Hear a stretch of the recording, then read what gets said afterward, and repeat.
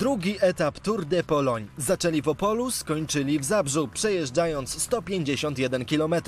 Dwaj dobrzy znajomi z pierwszego etapu, Maciej Paterski i Julius Vandenberg, znów urwali się peletonowi na początku wyścigu. Sukcesywnie budowali przewagę i samotnie dotarli do pierwszej premii górskiej na szczycie Góry Świętej Anny.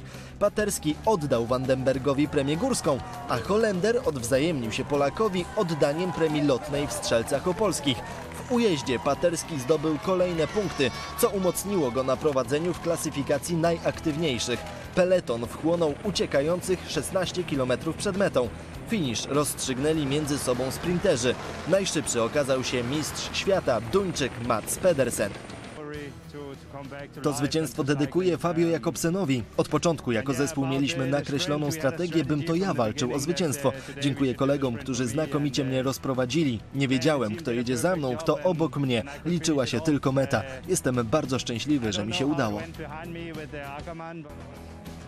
Nowym liderem wyścigu Mats Pedersen w koszulce najaktywniejszego pojedzie Maciej Paterski, a najlepszego górala Julius Vandenberg. Jutro etap z Wadowic do Bielska Białej.